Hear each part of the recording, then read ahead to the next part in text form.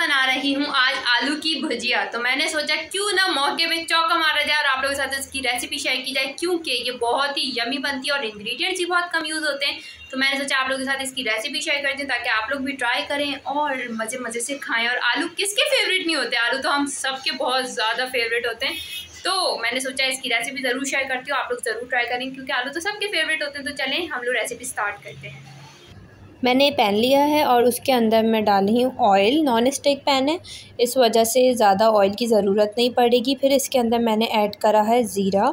और ज़ीरा ऐड करने के बाद मैं ज़ीरे को सौते करूँगी ताकि ये लाइट ब्राउन हो जाए। हम इसको ब्लैक नहीं करना, वरना टेस्ट बहुत अजीब सा हो जाएगा। बस लाइट ब्राउन करना है। यह हमारे पास ज़ीरा लाइट ब्राउन हो चुका है। अब इसमें ऐड करने लगी हूँ मैं अपने आलू। और आलू को मैंने क्यूब्स में कट करा है। छोटे छोटे क्यूब्स में इसको वॉश कर लिया था मैंने और नेट में रख दिया था ताकि इसका पानी अच्छे से निकल जाए।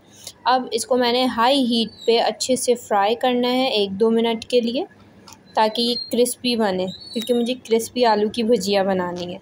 इस तरह से मैं इसको एक दो मिनट दूँगी और इसको मैं फ्राई करूँगी।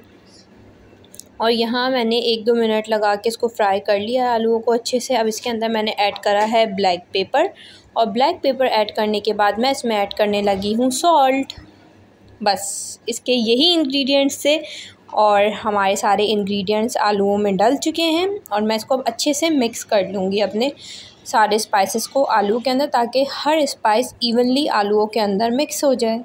और यहाँ मिक्सिंग अच्छे से हो चुकी है और अब मैं इसके ऊपर लगा दूँगी लेड और इसको लो टू मीडियम हीट पर रख दूँगी टेन मिनट्स के लिए क्योंकि छोटे छोटे पीसेज़ हैं तो ईजिली टेन मिनट्स में ये गल जाएँगे और यहाँ मेरी आलू की भुजिया हो चुकी है। रेडी देखिए कितनी अच्छा कलर आया है इसका।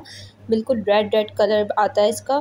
और स्पेशली नॉन स्टिक में बनी है तो ये और अच्छे से फ्राई होगी और ऑयल भी कम यूज़ होगा इसमें।